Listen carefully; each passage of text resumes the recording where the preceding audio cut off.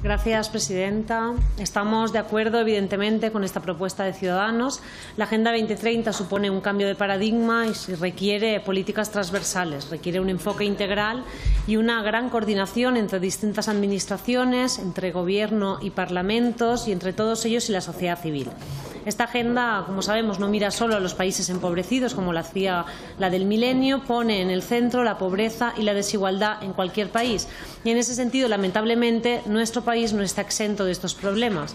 También aquí se tiene que garantizar todavía el derecho a la vivienda, a una sanidad de calidad, a una educación pública, a una infancia feliz o el derecho a un medio ambiente respetado y protegido. Tenemos mucho trabajo en ese sentido, eh, señorías. Si queremos alcanzar los objetivos marcados por esta ambiciosa agenda, tenemos que asegurar que su gestión y seguimiento se realiza al más alto nivel. Esta ha sido una propuesta que hemos hecho muchos grupos, incluido el nuestro, desde el principio, eh, que proponíamos estar a la altura de otros países europeos donde existen ya estas instancias de coordinación de la agenda al más alto nivel.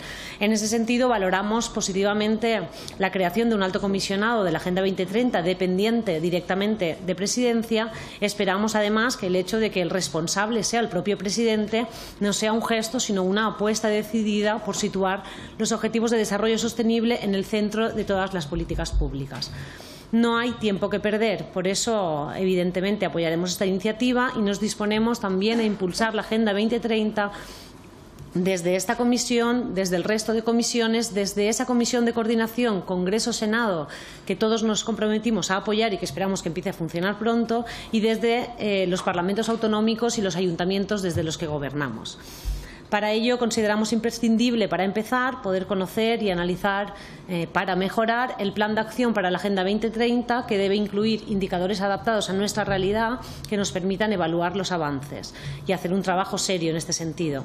Consideramos imprescindible que tanto este plan de acción como todas las instancias de coordinación y seguimiento de la Agenda cuenten con un papel protagonista no solo de todos los grupos políticos, sino sobre todo de las organizaciones de la sociedad civil que son de alguna manera a nivel mundial las impulsoras de esta agenda.